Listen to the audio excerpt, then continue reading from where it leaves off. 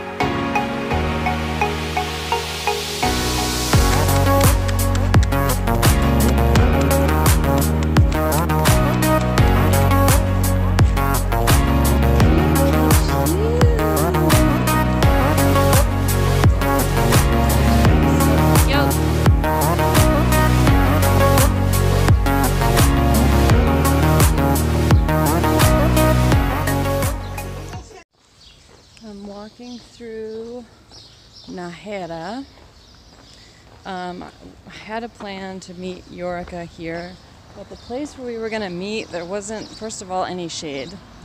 Second of all, there was nowhere to eat, and I thought it was going to be like a plaza with a church, and it wasn't. So I continued on just a little bit and found a place to eat. Ooh, I'm going to fill up my water. Um, but I didn't see Yorka, and I waited there for about an hour. Um, so I'm continuing on to Azofra. It's only 5.75 more kilometers. I feel really good after my hour long break, so I am uh, ready to get on with the rest of the day.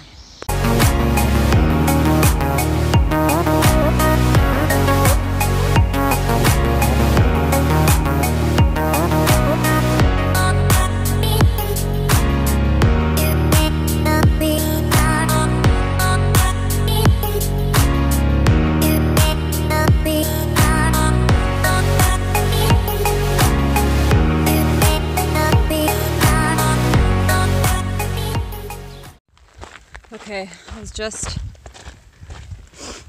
climbing up this hill. It's super hot again in the 90s again. I feel like I've had one day in the 70s. Every other day has been in the 90s or 100. I think it's going to let up in a couple days, but I'm just expecting this every day. So I don't have too much left. And I was going up this hill, and it was hot and hard, and a little breeze blew and cooled me off a little bit. And it got me thinking about how one of the things that you learn about on the Camino or that you're reminded of, perhaps we all already know this, I certainly have learned this before in life, is that to appreciate and feel grateful for the little things, like a little breeze to cool you off when you're puffing up a hill and it's super hot. Um, even just like having my umbrella, I'm so thankful for. It got me thinking about, you know, in my in my daily life at home, how comfortable I live. Um, even though I live, um, you know, I mean, I have my own apartment, but I live in a really small apartment in a dorm at a high school. Um, it's still so comfortable. I mean, I just think about like I have my own bathroom, I have this really comfortable bed, I have a air conditioning unit in the window, so if I get hot, I can just sit or lay in front of it. I mean, there's all these possibilities to feel comfortable in my day-to-day life. And that's such a privilege. Um, when you're on the Camino, there's a lot of discomfort you are, um, you know, sometimes I'm walking alone. Actually, a lot of times I'm walking alone. Most of the time, I feel very safe and comfortable. Um, but there are some, you know, sometimes some seedy parts where I get in my head and I get a little paranoid. Um, most of the time, you're sharing a bathroom with many other people. You're sharing a bed with other people because you're sleeping in a bunk. So, even just to have the bottom bunk is uh, just a nice treat. Um, sometimes you don't know when the next water will be. I've run out of water a couple of times, uh, or when the next food option will be. All these things. Um, your body's hurting all the time, pretty much. but when you, for example, I just took, you know, an hour break and I stood up and I started walking again, and it's like I have a new body after a break. I just got recharged, and I'm so thankful for those stretches where my body feels really good and I feel like I can make it all the way to Santiago, which is no small feat. Um, let me just remind you if you're thinking about doing the Camino, it is definitely not an easy walk. Um, you're, you know, you have to deal with the elements, the body fatigue, the mental fatigue, and if you're walking when it's hot, you know, getting up early every day, way earlier than I get up for my normal job. But you're also out in this beautiful, beautiful landscape in Spain through these old cities, meeting people from around the world, um, realizing your own strength. It's really an incredible experience, and I'm just grateful for the small things like seeing the wildflowers on the side of the road, the butterflies, and this view that's coming out in front of me right now. It's really spectacular. So, just uh, pausing here for a moment to be grateful for the little things that come along the way in life and on the Camino. So, this rock looks like a guy's side profile. If you can see the, see if I can use my pole, the nose sticking out there and the mouth, and then this is like the hair on top. cool. This is a beautiful walk this afternoon.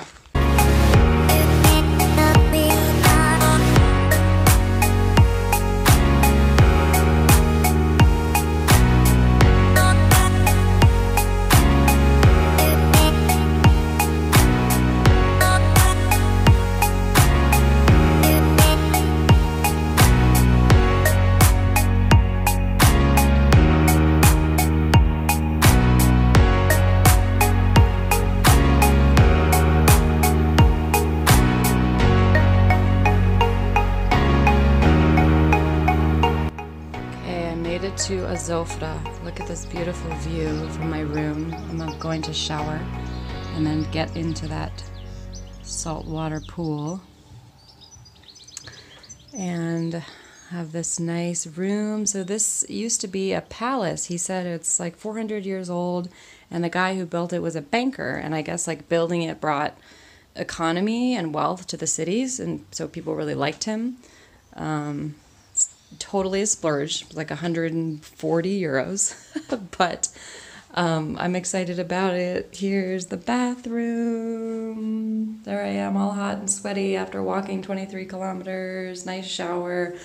Um, I just, you know, wanted to have just something really lovely and nice. So I'm excited about this little splurge. And then I think Yorka's going to come and stay in the second bed um, and help pay for a little bit of it. But I told her that she doesn't have to pay for half of it. Um, so yeah, I'm, oh gosh, I'm looking forward to that pool.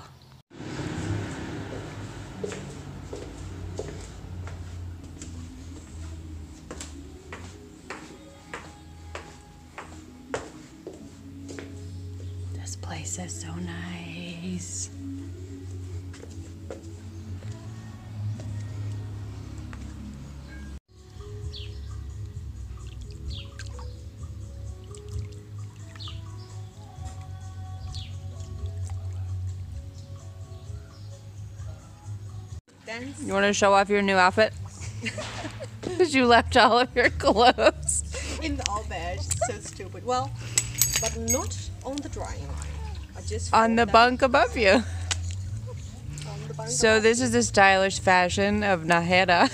And the most funny part is yesterday I really need a shower, so I was drying myself with my scarf because that was the only thing I had. But it's not a good idea because it's just one time and you have to. That's what I've been using the whole time. It's a scarf, a sarong, as my towel. Except in this hotel where they give you giant towels. It's really. This is the small one. I will explain. This is. Um, this is how big my towel is at the moment because I'm a pilgrim. It's really, really incredible. Okay, it's time for pilgrim errands, which involve going to the supermarket To buy some food. And this looks like someone's house. Right. Maybe it's behind it. All And going to the pharmacy to get more drugs. And then finding food. This is our, this is our life. heroin, ecstasy. What do you need? Not, Speed. not those kinds of drugs. I think it's very useful. We need lots of Advil and Tylenol and Oh, arnica.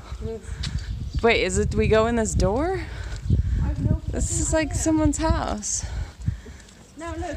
Here's the door. Oh, maybe it's over here. Oh, I can't wait to see what this supermarket is like. I think it really is someone's house who just built the um, the lowest. Oh, there's level. signs in English. How nice. Oh, that's really nice. Let's see. Hola. Oh my gosh, it's so small. Hola. Do you want to explain the pilgrim's menu? Um, okay, are you ready? We're ready. Well, um, it's uh, the menu has some flags on it to be sure you really know where to look. so you're very ready. And um, yeah, well, it's just macaroni with some. Well, you get to you get so it's like 11 euros. You get bread and typically wine, although we ask for water. And then you get a first course. So I got a mixed salad, which always has tuna on it. Yorica got macaroni with ketchup, some unidentifiable meat, I'm afraid it's her husband. and then uh, we'll show you the second course when we get it. Okay. course two is very flat chicken with fries. Or white, some kind of white fish. I'm kind, I don't know. We're, we're kind of afraid of this restaurant. this is a, this is a very weird town. Okay, third course.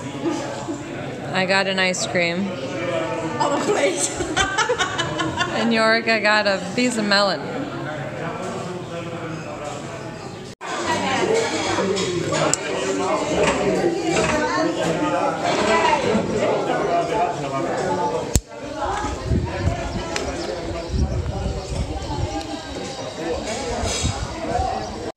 Okay.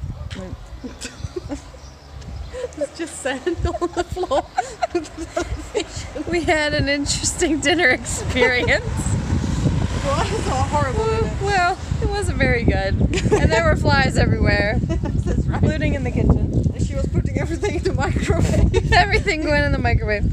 But all of the people in the town all came to the restaurant, and there were some good people watching. So we, we've decided that this is a very weird town. I want to leave and never come back. but the hotel is very, very nice. Yes. So It's very expensive, very nice, very it makes good. up for it. Ooh, look at those cool clouds.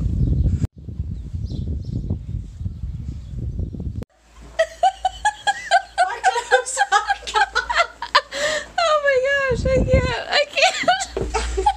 Look over here. Look.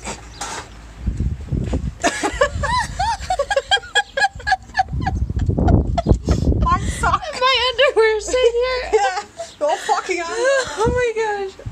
Oh my gosh, I'm dying. Oh my god. Oh my gosh. Oh well. I'm going downstairs. Okay. I look like I'm crying, but I'm really laughing. Well, at least this is dry. Dry.